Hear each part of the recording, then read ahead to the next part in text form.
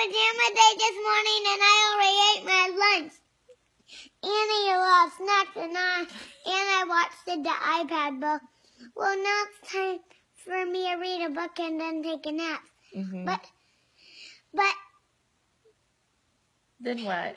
and then we're gonna go work out, get shakes, and then we're going to toot on mommy's head.